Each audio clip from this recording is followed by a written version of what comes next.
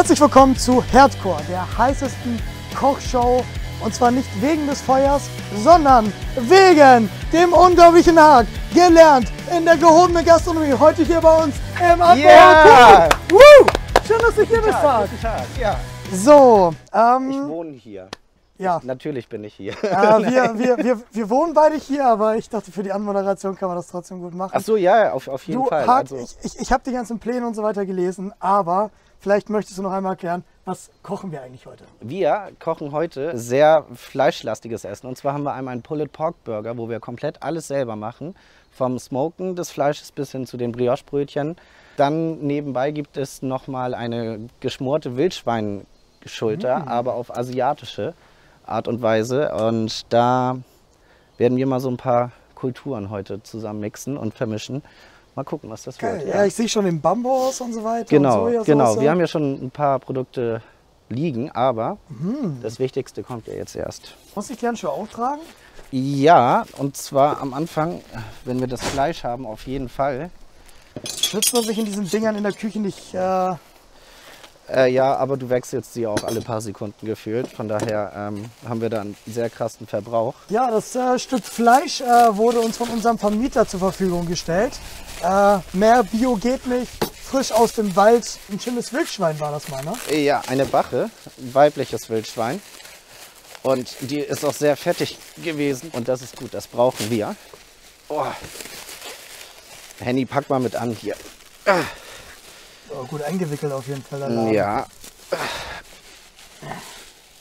Ja, hier haben wir jetzt einmal eine komplette Wildschweinkeule. Komplett schön frisch. Oh, das Brett ist fast zu klein.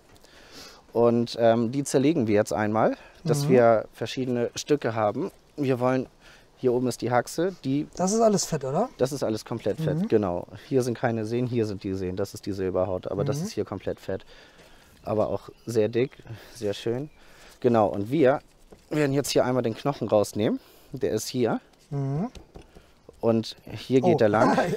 ja. Genau, und hier geht er lang. Hier oben die Haxe. Ich denke mal, die können wir so lassen mit Knochen. Und die packen wir schön auf den Grill. Und das wird das Asiatische. Dann nehmen wir uns hier noch einen Teil von weg und den Rest schneiden wir klein und machen da Pulled Pork draus. Ja, alles klar. Das klingt jetzt erstmal nicht so kompliziert. Naja, nicht so kompliziert ist gut. Jetzt geht's ja los.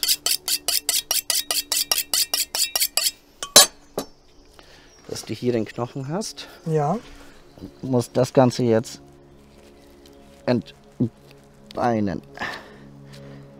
Gibt es irgendwas, äh, worauf man achten sollte, wenn man Ja, den Knochen rausschneidet? immer schön am Knochen schneiden, damit du so wenig Verlust wie möglich hast. Mein Ausbilder damals hat immer gesagt, das Tier oder das Stück kannst du auch immer ordentlich bewegen, das ist schon tot. Also von daher, Ein weiser Ausbilder.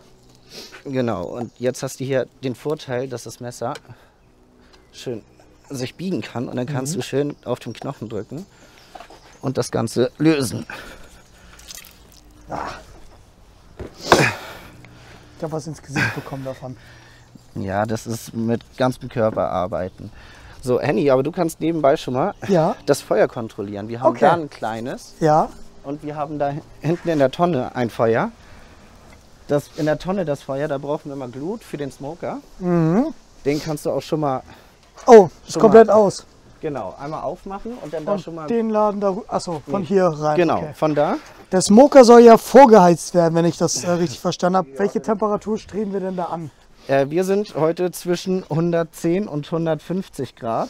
Und wir brauchen eine Kerntemperatur f- für das Pulled Pork von 92 bis 95 Grad. Und wenn wir das erreicht haben, ist das fertig. Dauert aber auch ein bisschen.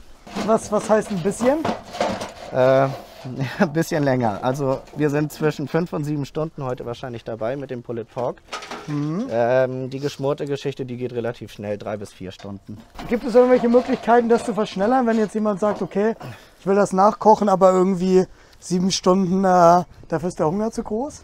Naja, also normalerweise machst du Pulled Pork zwischen 10 und 20 Stunden.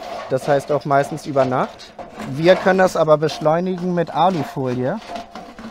Du hast beim Garen einen bestimmten Vorgang, wo die Kerntemperatur sich kaum verändert. Und das ist für das Fleisch sehr wichtig. Das kannst du aber mit Alufolie umgehen. Kannst dir deswegen so zwei, drei Stunden auf jeden Fall sparen. Mm, äh, Verschlechtert sich irgendwie die Qualität, wenn man mit äh, Alufolie? Ähm, nee, viele sagen, das ist dann noch saftiger, Okay. weil äh, der Saft direkt noch drin bleibt. Äh, soll ich alles komplett von, von, der, äh, von dem Ding reinpacken oder reicht so ein bisschen erstmal? Das ist wunderbar, genau. Dann Okay. einmal zumachen und hier außen einmal öffnen, damit das schon mal ein bisschen anzieht und dann heizen wir ihn erstmal so ein. Wahrscheinlich musst du gleich noch ein bisschen mehr Kohle reinmachen. Und Okay, ich habe dieses Rad jetzt einmal komplett hier aufgemacht. Oder das, äh, die ganze Klappe auf. äh, die Klappe Okay. äh, und den Schornstein aufmachen. Den kannst du einmal so ein bisschen rumdrehen. Okay, qualmt schon. Sehr schön. So, wir haben hier schon mal den Knochen.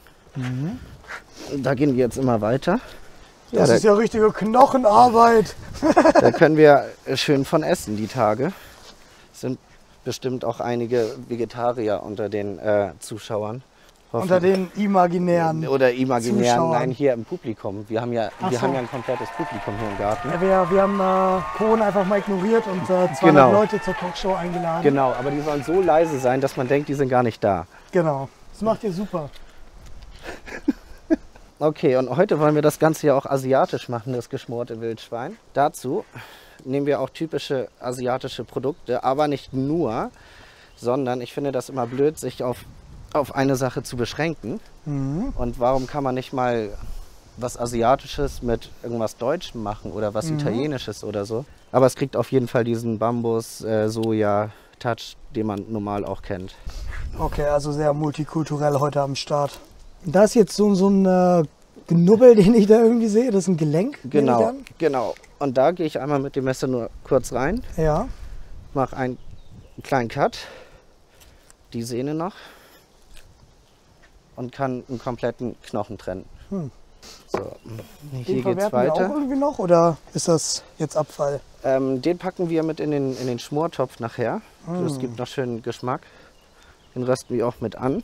Und dazu kannst du mal richtig schönes großes Feuer jetzt machen. Also Auf beiden Seiten oder auf der einen Seite? nee, auf der einen Seite, aber die, die kleinen, da kannst du mal ordentlich was nehmen. Ich habe ein bisschen Angst, dass die Handschuhe schmelzen. Na, Quatsch. Und wenn, und wenn merkst du das früh genug. Aber dann ist es eigentlich auch schon zu spät. Du hast mich nicht beruhigt.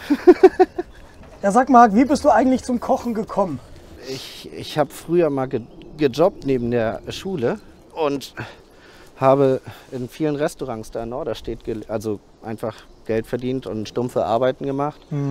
Und habe mir dann irgendwann kam ich auch mal auf den Posten und habe nicht nur gespült und dann habe ich mir auch mal Kochmesser gekauft und dann habe ich eins geschenkt bekommen und dann hatte ich eine Kochjacke und dann war ich mit der zehnten durch und dachte mir, okay, was machst du jetzt?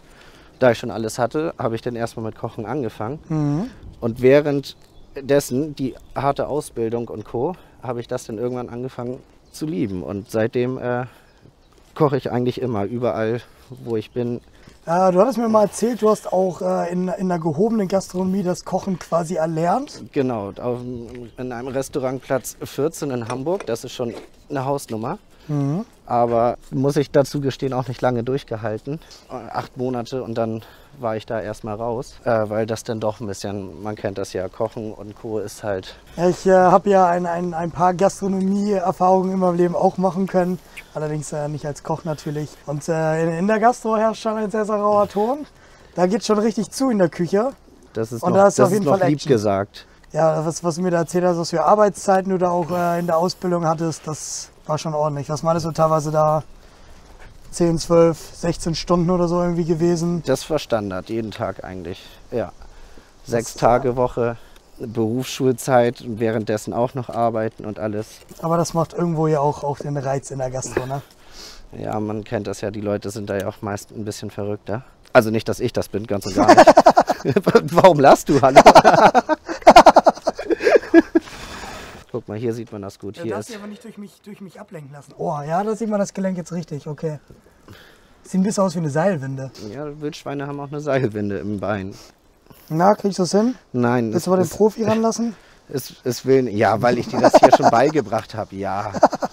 So, wie sieht denn das aus mit dem Feuer? Ja, wir sind jetzt hier bei 110 Grad. Das ist doch gut, oder? Ja, das ist perfekt. Dann kannst du jetzt die Klappe unten ein bisschen zumachen. oder ein bisschen weiter ran machen. Ja.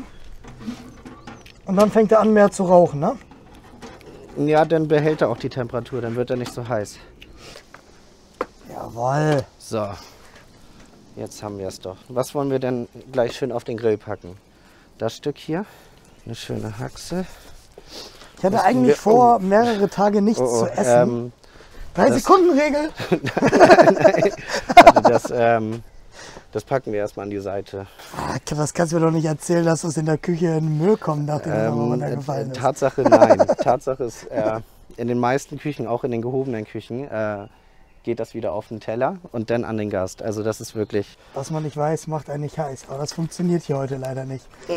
nee. Aber also es ist wirklich, wenn Menschen wissen würden, was in der Küche abgeht, würden die meisten, glaube ich, nicht mehr essen gehen. Ich finde das immer sehr interessant, weil meistens die Leute halt gerade aus den Gastronomien, in denen sie arbeiten, dort auf jeden Fall nicht mehr essen. Schon ein paar Mal gehört.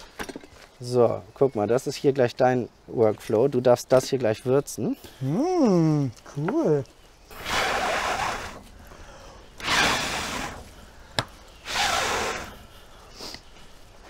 Ja, das ist jetzt komplett knochenfrei, ne? Ja. Und hier ist sehr viel Fett dran. Kannst du für mich noch einmal kurz aufschlüsseln, was jetzt quasi genau für welchen Teil des Rezeptes verwendet wird und was genau am Ende daraus wird? Okay, das hier wird Pulled Pork Ja, und das Ganze hier mit der Haxe geht gleich auf den Grill und das wird das äh, Schmorgericht auf asiatische Art. okay, das wird das asiatische Schmorgericht. Genau. Das wird Wir müssen aber als erstes hiermit starten, weil das am längsten dauert. Mhm. Das heißt, das kommt weg. Und das hier darfst du jetzt einmal richtig geil würzen. Geil. Und zwar was denn? haben wir da eine Roop, das ist Trockenmandarin und Barbecue Rub. genau Was ist äh, das? spicy, das ist ähm, scharf und sehr exotisch, also auch süß. Und damit reiben wir das Fleisch jetzt hier ein. Mmh, riecht gut. Also auch richtig deftig oder? Ja, ja, da kannst du jetzt mal richtig da. richtig schön mal ein, ja, hau rauf. Sonst nehmen die wir hier mal andere, genau, großen, ne? genau. Ja, Und dann einfach einreiben. genau. Dann schön einmassieren. Wahrscheinlich brauchen wir noch mehr. Irgendwie fühle ich mich ein bisschen komisch dabei, seitdem du das Einmassieren nennst.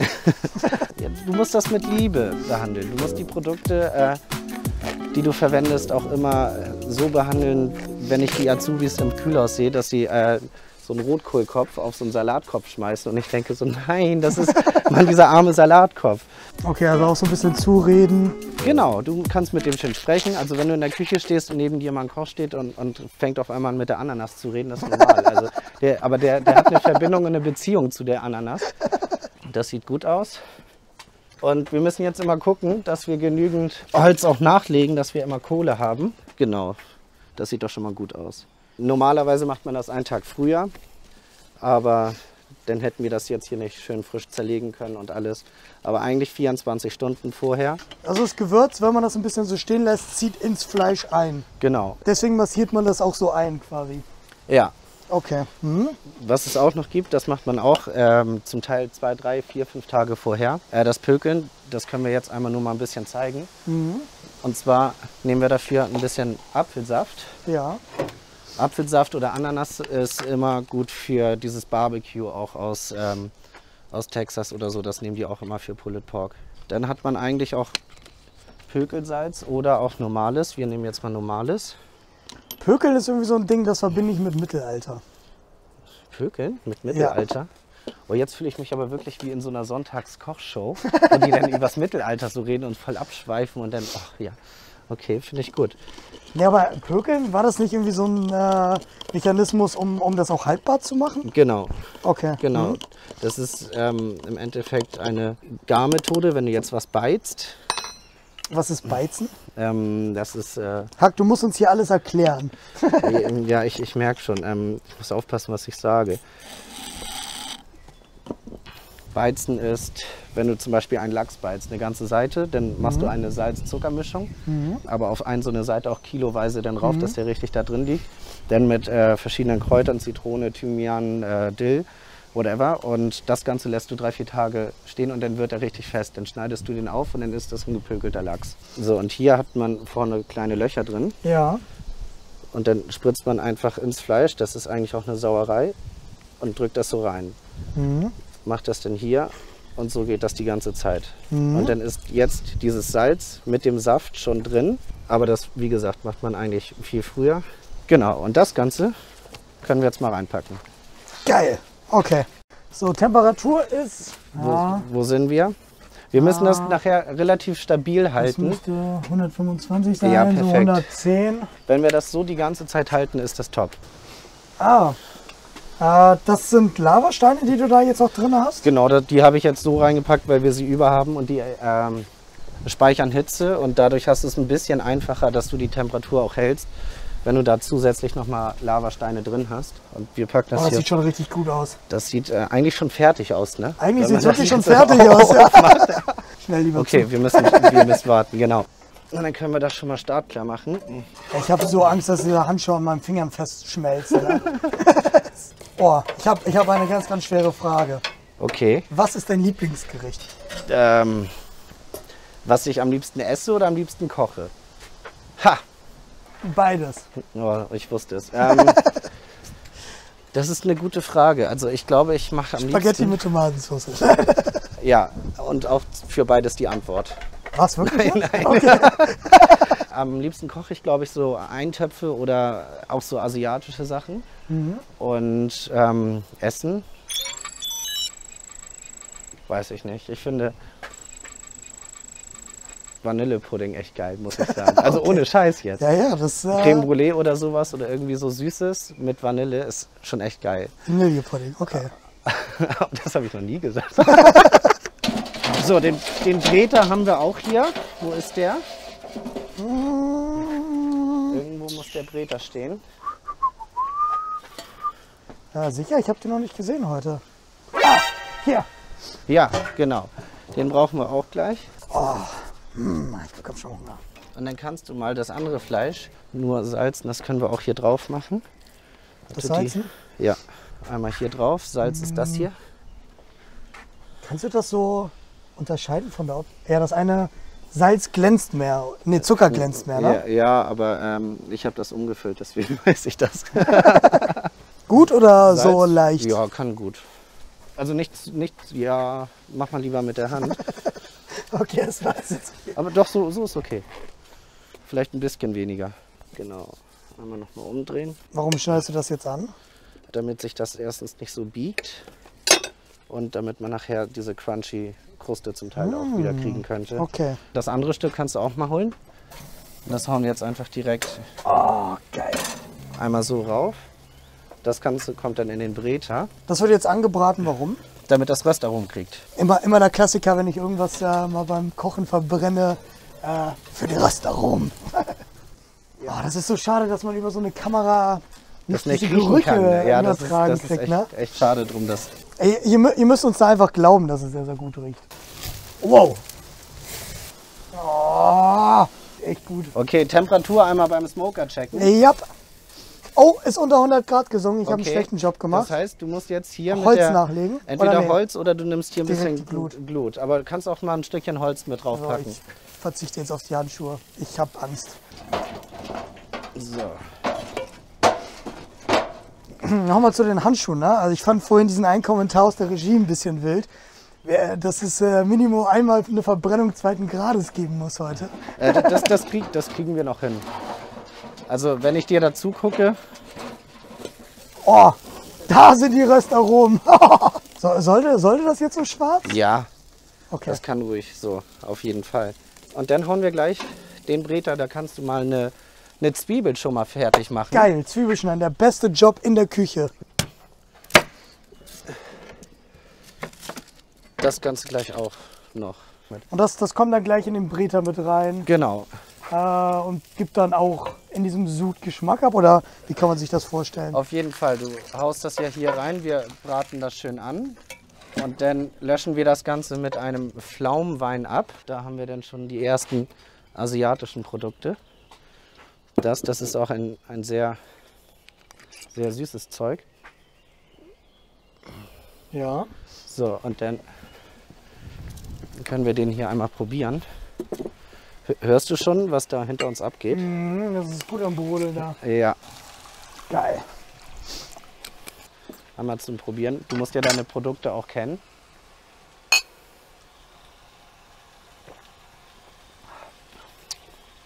Boah, der ist mega lecker. Zwiebel können wir schon mal reinhauen. Und äh, wir haben da vorne Sesamöl. Das Ja. kannst du einmal mit in den Breter kippen. Wie viel? Boah, mach mal, mach mal was rein. Okay, okay. Jetzt gleich, nein, nicht so viel. So, Ja. Und dann kannst du die Zwiebel mal mit reinschmeißen da. Jawohl. so. Da drin ist ja richtig Action. Wie viel Grad hat das jetzt ungefähr? Warte mal, wir haben doch so ein Thermometer-Dings da, oder nicht? Ja. Wie, wie funktioniert... ah, das ist hier festgebunden. Das okay. ja, aber das kannst du abnehmen. Ach nee, kannst du nicht. Doch. So. Genau, das Thermometer benutzen wir später für den Smoker, für das Fleisch. Guck mal, und das kannst du jetzt hier hinstellen. Das kannst du dir an deinen Gürtel machen. Und dann kannst du das theoretisch mal hier reinhalten.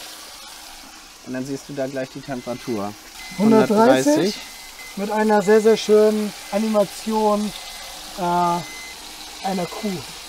Genau, ja, da kannst du verschiedene Garstufen und sowas Ah, okay, einstellen. das wäre jetzt logischerweise well done. Also, Okay, hier drin schwitzen wir jetzt ein bisschen die Zwiebel an, machen da irgendwie noch ein bisschen mehr Dampf gleich und dann flambieren wir das einmal mit dem Wein oder löschen das ab. Und das kannst du auch mal mit in den Breter hauen. Willst du mal die ganze Paprika schneiden? ja, geh mal her, das, das krieg ich hin. Okay. Sag mal, was ist eigentlich der größte Kochunfall, den du so in der Küche mal miterlebt hast? Vielleicht auch bei dir selbst. Oh, ich habe ähm, Tatsache mir letztes Jahr vom Happy Town, weißt du das noch, mit dem Finger? Ja, ja, du hattest einen ramponierten Finger und das sah sehr böse aus. Ja, ich Und du solltest das eigentlich nicht bewegen, aber es hat trotzdem gut verheilt irgendwie dann am Ende, oder? Ja, ähm, naja, was ich auf dem Happy Town da mit dem Finger gemacht habe, ist eigentlich, da würde jeder Arzt mich für töten. Aber nee, ich habe in der Küche ähm, mich blöderweise am Ende, wo ich Feierabend hatte, noch schön den Finger aufgeschnitten Ja. an einem scharfen Metall und Ah, danach sogar noch die Küche sauber gemacht und geschrubbt. ah, Und dann bin ich in die Notaufnahme. gute Reihenfolge. ja, das, jetzt hauen wir das Gemüse mit drauf. ja, ich bin nicht so schnell mit dem Schnibbeln. Nein, nein, alles gut. Und dann würzen wir das Ganze noch ein bisschen und dann war es das hier erstmal. Und dann schmort das. Ja, und, und was ist der, der größte Unfall, den du mal so, so miterlebt hast? Äh, Fritteusenverbrennung. Ah. Das ist immer sehr böse. Also man denkt, Köche schneiden sich immer. Nein, Köche gehen jeden Tag mit dem Messer so um. Äh, das können die aus dem FF, aber Mhm. das Gefährliche sind in der Küche die Verbrennung. Und oh, da habe ich schon böse Sachen gesehen. Dann nehmen wir hier mal so ein, zwei Frühlingszwiebeln. Kommt sowas häufig vor? Also irgendwie Verbrennungen, Verletzungen? Also jetzt mal von Azubis oder sowas mal abgesehen, ja wahrscheinlich relativ regelmäßig. Ja, du an. hast ja, du arbeitest ja eigentlich nur mit solchen Sachen. Dings hier rinnen. Alles da, ne? rein da. Oh,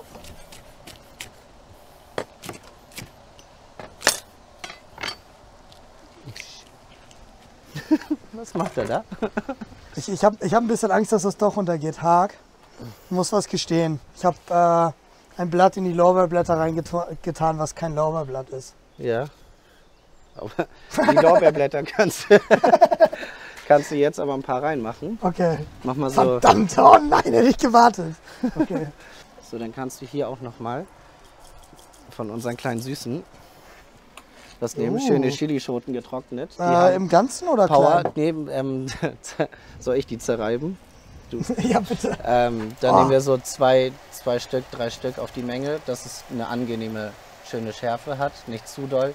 Jedes Mal, wenn Hack mit Chili ankommt und ich das schneide, vergesse ich das und reibe mir das danach in die Augen und das ist unangenehm. Sehr unangenehm. Soll ich noch irgendwas schnibbeln? Ähm, nein, aber du kannst Bambus mal reinpacken. Da kannst du alles Hm. reinpacken. Schmeckt der? Das schmeckt noch gar nichts. Genauso muss Bambus schmecken. Okay. Mm, Dann kannst du hiervon Ja. Ein wenig nehmen. Sojasauce und Gewürz-Chutney. Du, genau. Okay. Da kannst du mal so das halbe Glas. Probier das mal. Du musst ja immer vorher probieren, wie das Mm. schmeckt, damit du weißt, wie sich das dann später auch im Gericht entfaltet. Okay, so das halbe Ding, ne? Ja. Oh, sieht das gut aus, ey. Ein bisschen Ingwer. Aber ist das jetzt nicht eigentlich hier was Indisches? Ja, aber das meinte ich ja vorhin. äh, Nicht nur, genau, nicht nur asiatische Produkte. Okay, genau, da davon- kannst du fast die halbe Flasche. Okay, reicht? Mal verrühren vielleicht oder so? Ja, können wir gleich. Aber Uh, Traubensaft darfst du mal reinkippen. Was, was macht der Traubensaft? Hat der irgendwie Mm, eine besondere Aufgabe? Ja, warte mal. Probier, schenk dir erstmal ein, ein bisschen ein.